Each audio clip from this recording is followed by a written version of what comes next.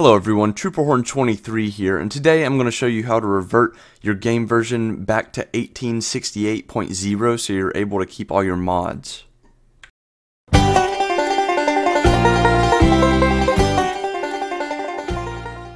So as everyone may know by now, Grand Theft Auto had an update two days ago that went to version 1868.1 which means that ScriptHook V will not work anymore. Rage plugin hook will work, and LSPDFR works with this Grand Theft Auto version, but ScriptHook V is now outdated and will not work.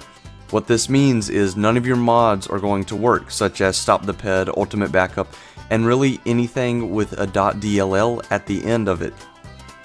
You can, however, play vanilla LSPDFR but, I mean, who would want to do that? I mean, you literally can't even use your cars without ScriptHook V. So, with that being said, you probably see an image that is popping up on the screen right now. That is what I get, as well as probably everyone else. Just an image that says ScriptHook V is not supported right now, and that is perfectly fine. The developers of ScriptHook V must update ScriptHook V in order for it to work again. Now, the image that's popping up on your screen right now is Rage asking if you want to back up your game version. If you did this before March, what, 29th or 30th, before Grand Theft Auto updated, if you clicked yes on this image and you made a backup, you are able to do this. And I don't know why you wouldn't hit yes, because it creates a backup for you. If you hit no, then you are sadly out of luck, and you must wait probably around a week for ScriptHook V to get updated. So, in order to revert back to 1868.0, go ahead and start your Rage plugin hook. And again, this will only work if you hit yes on that um, backup screen. And before it launches the game, mine's not launching at all, which is weird. But anyway, hit the gear right here and do this before it fully boots up the game. And once you hit this gear, we have these tabs up here, General, Plugins, Advanced Settings, Game Settings. Go ahead and go to the Game Settings tab right here. And then you see this one in the middle says Revert Game Version. And click that arrow down. And now, yep, see it says right here, did the game update to a version of the game not currently supported? Well, by Rage plugin, no. Rage is supported, but ScriptHook V is not supported. So we can downgrade here. And now see at the very bottom it says Grand Theft Auto V 1.0.1868.0. The newest Grand Theft Auto is 1868.1. And it should say supported. If it says supported right here, you did hit yes when it was still 1868.0. So if your screen looks like mine here, and it says supported, then you can go ahead and click revert and it'll say you're about to revert to a different version of the game, however the current version is not backed up, that's perfectly fine. The current version is 1868.1. We don't want to back that up, because ScriptHook V, again, is not updated.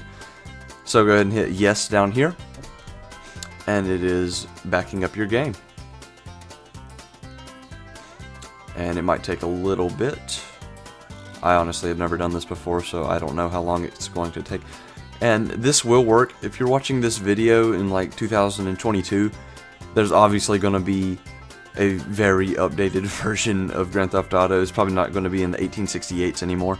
But this will work. If you hit yes before this update came out, then you are able to do this.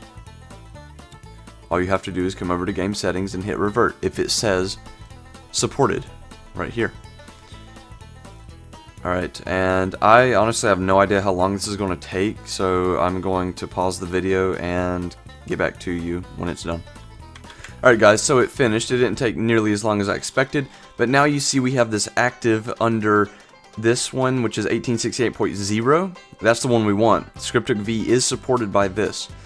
And above it we have 1868.1, which is the latest version, and it's also the version that ScriptHook V is not supported by.